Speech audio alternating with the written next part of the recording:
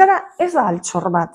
Ze altxorra gordetzen dira kofreetan eta listo. Euskara erabili egin behar duan. Euskara ez da gu daukagun altxor bat. Euskara, Euskara da gure hizkuntza. Erabiliko, erabili beharko genukena komunikatzeko. Nik bertzolaritzako klaseak ematen dituenean eskola baten esan zidan ume batek.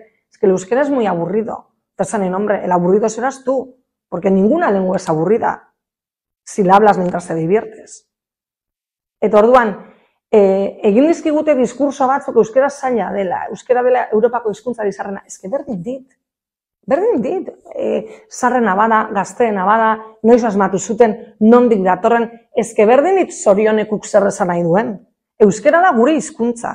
Eta da, munduko leku honetan, 2008 arte iraunduen hizkuntza. Eta da, munduko leku honetan, mendeetan egon den bizitzeko modua, ondoen esplikatzen duen hizkuntza eta listo.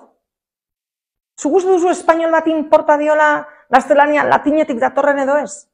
Azten dela pentsatzen, ba, ez dakit zehitz etimologikoki, ez, ez du behar. Eta guari gara Euskarari ez dakit zen bat zentzu ematen. Joder, Euskara hizkuntza bat da, honetan gurea. Eta merezi du, beste hizkuntza guztiek merezi duten errespetoa. Eta listo.